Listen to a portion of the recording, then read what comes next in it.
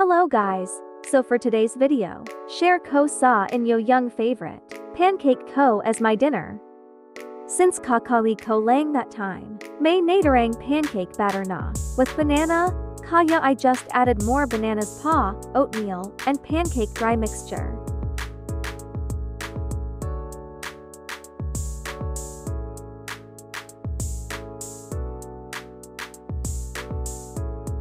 After that, just add the right amount of milk to the mixture then give it a good mix.